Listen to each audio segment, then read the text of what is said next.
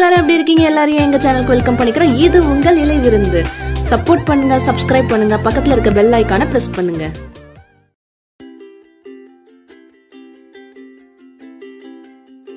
இன்னைக்கு நம்ம pan fried mutton stick எப்படி பண்ணலாங்கிறத பார்க்கலாம். வாங்க வீடியோக்குள்ள போகலாம் நான் ஃபஸ்ட்டு கறி வாங்கியிருக்கேன் மட்டன் கறி வாங்கியிருக்கேன்.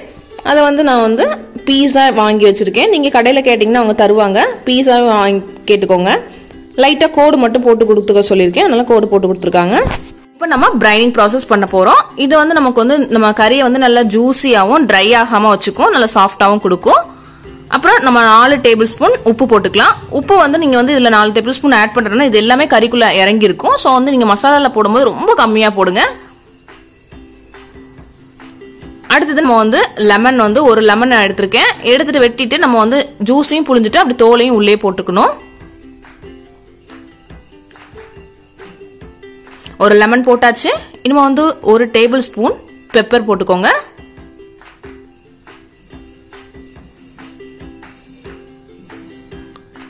ஒரு டேபிள் ஸ்பூன் போட்டேன். அடுத்ததுக்கு வந்து அப்புறம் வந்து நம்ம வந்து கொஞ்சோண்டு ஒரு நாலுலேருந்து ஒரு அஞ்சு வந்து பல்லு வந்து பூண்டு வந்து இடித்து போட்டுக்கோங்க. தோலோடு இடித்து போட்டுக்கோங்க. இது எல்லாமே அந்த கறிக்குள்ள வந்து ஒரு நல்ல ஸ்மெல்லு நமக்கு கொடுக்கும். அப்புறம் ஹனி வந்து ஒன்றரை டேபிள் ஸ்பூன் ஊற்றணும் நம்ம.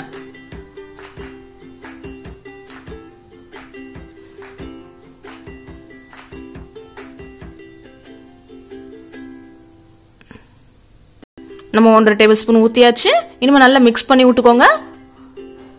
இந்த மாதிரி பண்ணுறதுனால நமக்கு நல்ல ஒரு ஃப்ளேவர் வந்து நமக்கு உள்ளே இறங்கியிருக்கும். இது வந்து நமக்கு வந்து ஒரு நூ- ஒரு ஒரு மணி நேரத்துலேருந்து ஒரு ரெண்டு மணி நேரம் வச்சா போதும் தாராளமாக கறியை முக்கி வச்சிடணும். இப்போ நம்ம எல்லாத்தையும் நல்லா மிக்ஸ் பண்ணியாச்சு. இனிமேல் கறியை வந்து அப்படியே உள்ளே வந்து முக்கி வச்சிடுங்க. நல்லா கறியை முக்கிட்டு நம்ம ஃப்ரிட்ஜில் எடுத்து வச்சிடணும். ஒரு ரெண்டு மணி நேரம் கழித்து நம்ம வந்து வெளில எடுத்துக்கலாம். ஒரு மூடி போட்டு மூடிடலாம். அவ்வளோதான் இப்போ நமக்கு வந்து டூ ஹவர்ஸ் வந்து நம்ம ஃப்ரிட்ஜில் வச்சுட்டு நம்ம வந்து எடுத்துடலாம். ஒரு மூடி போட்டு வச்சுக்கோங்க. நார்மலாக நீங்கள் வந்து கீழே வைங்க. ஃப்ரீசரில் வைக்காதீங்க. ஆஃப்டர் டூ ஹவர்ஸ்க்கு அப்புறம் நம்ம வந்து வெளியில் எடுத்துடலாம். இப்போ நீங்கள் ஓப்பன் பண்ணி பார்த்தீங்கன்னா இப்படி தான் இருக்கும். நல்லா பார்த்தாலே தெரியும். அந்த கலரே நல்லா கம்ப்ளீட்டாக நமக்கு வந்து சேஞ்ச் ஆயிருக்கு. உள்ள எல்லாமே இறங்கியிருக்கு. உப்பும் கரெக்டாக இருக்குது இப்போ நம்ம கறியை வந்து நம்ம வெளியில் எடுத்து கொஞ்சம் புளிஞ்சு விட்டுக்கோங்க. கொஞ்சம் தண்ணியெல்லாம் நம்ம வந்து முடிஞ்ச அளவுக்கு நீங்கள் வெளியில் எடுத்துக்கோங்க. ஏன்னா நமக்கு வந்து மட்டன்லேயுமே நார்மலாகவே நமக்கு வந்து அதுக்கு தண்ணி நிறைய இருக்கும் வெளியில் விடும். இதை வந்து நம்ம வந்து புளிஞ்சு விட்றதுனால எந்த ஃப்ளேவரோ அதில் உள்ளே இருக்கிற மச இந்த உப்போ எதுவுமே நமக்கு வந்து குறைய போகிறதில்ல ஸோ நல்லா தான் இருக்கும். ஸோ லைட்டாக புளிஞ்சு விட்டுக்கோங்க எல்லாத்துலேயும்.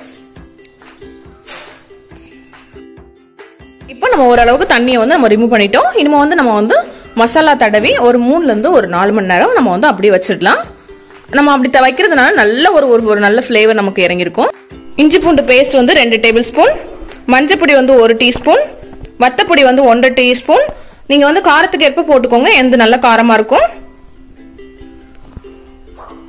உப்பு வந்து ரொம்ப கம்மியாக கா டீஸ்பூன் கூட நமக்கு தாராளமாக போதும் ரொம்ப போடாதீங்க ஏன்னா ஆல்ரெடி நம்ம போட்டிருக்கோம். அப்புறம் கரம் மசாலா ஒரு டீஸ்பூன் கொத்தமல்லி பவுடர் ஒரு டீ டீஸ்பூன் பெப்பர் வந்து ஒரு டீஸ்பூன். அதுக்கப்புறம் ஜீரக பொடி வந்து ஒரு டீஸ்பூன். இப்போ தயிர் ஆட் பண்ணிக்கலாம். தயிர் வந்து நம்ம ரெண்டு டேபிள் ஸ்பூன்லேருந்து ஒரு மூணு டேபிள் ஸ்பூன் வரைக்கும் நம்ம ஆட் பண்ணிக்கலாம். சின்ன பீஸ் வந்து பட்டரை வந்து நீங்கள் ஆட் பண்ணிக்கோங்க. அப்புறமா நம்ம கொஞ்சோண்டு கொத்தமல்லியை இந்த மாதிரி வெட்டி நம்ம உள்ளே ஆட் பண்ணி நல்லா விரசிக்கலாம். பொடிசு பொடிசாக ஆட் பண்ணிக்கோங்க. இது எல்லாமே ஒரு நல்ல ஒரு நல்ல ஸ்மெல் கொடுக்கும் நமக்கு. நல்லா மிக்ஸ் பண்ணி விட்டுக்கோங்க. இப்போ மசாலா ரெடி ஆயிடுச்சு. இந்த மசாலாவை எடுத்து நல்லா கறியில் எல்லா இடமும் படுற மாதிரி நல்லா ராவிக்கோங்க. ராவிட்டு நல்லா வச்சுட்டு நம்ம மூடிட்டு ஒரு ஃப்ரிட்ஜில் வந்து ஒரு மூணுலேருந்து ஒரு நாலு மணி நேரம் வச்சு எடுத்துடலாம். இப்போ நான் வந்து ஒரு மூணு மணி நேரம் கழிச்சு வெளியில் எடுத்துடுறேன். எப்போவுமே நீங்கள் வந்து ஃப்ரீ ஃப்ரீசரில் வைக்காதீங்க. நார்மலாக கீழே வச்சுக்கோங்க. அவ்வளோதான் இப்போ வந்து லைட்டாக தண்ணி நல்லா பார்த்தாலே தெரியும். கொஞ்சம் தண்ணி எல்லாம் நமக்கு வந்து வெளியில் வந்திருக்கு. அதில் எடுத்துடலாம். நீங்கள் பார்த்தாலே தெரியும் உங்களுக்கு நல்ல மசாலா வந்து ஈக்குவலாக ஸ்ப்ரெட் ஆகிருக்கும் இந்த மாதிரி ஸ்ப்ரெட் ஆகுறதுனால நமக்கு எல்லா இடத்துலையும் பட்டு நம்ம ஊற வைக்கிறதுனால நமக்கு வந்து உள்ளே நல்லா இறங்கி காரம் எல்லாமே நமக்கு அந்த மசாலா ஃப்ளேவர் எல்லாமே இறங்கியிருக்கும். ஸோ ஃப்ரை பண்ணும்போது நமக்கு நல்லாயிருக்கும் இப்போ ஒரு பேனில் கொஞ்சோண்டு பட்டர் போட்டுக்கோங்க. பட்டர் போட்டு அந்த பட்டர் உருகுனதோட நம்ம வந்து நம்ம கறியை ஆட் பண்ணிடலாம். உருகிடுச்சு. இப்போ நம்ம கறியை ஆட் பண்ணலாம். ஒரு ஒரு பீஸாக நான் இப்போ ஃபஸ்ட்டு ரெண்டு பீஸ் போடுறேன். லைட்டாக கொஞ்சமாக நமக்கு போதும். கொஞ்சம் கொஞ்சமாக நீங்கள் பட்டர் ஊற்றி போட்டுக்கோங்க. பட்டர் மட்டும் தான் போடணும்னு இல்லை. நம்ம வந்து நார்மலாக வீட்டில் யூஸ் ஃப்ரை பண்ணுறதுக்கு யூஸ் பண்ண ஆயில் கூட நம்ம போட்டுக்கலாம்.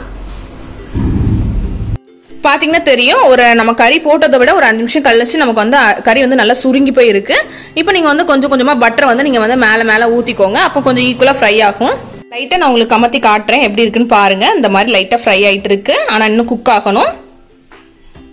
நான் ஒரு 15 மினிட்ஸ் கழிச்சு நான் இப்போ கமத்தி போட்டிருக்கேன். மேலே வந்து நமக்கு வந்து கருப்பு கலரில் ஃபார்ம் ஆயிருக்கும். அந்த மாதிரி வரும்போது நம்ம வந்து கமத்தி போட்டுக்கலாம்.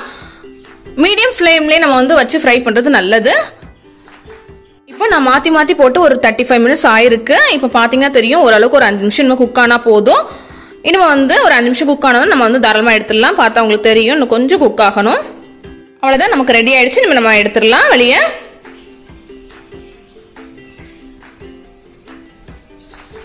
தான் நம்மளோட பேன் ஃப்ரைட் மட்டன் ஸ்டிக் நமக்கு சூப்பராக ரெடி ஆயிடுச்சு.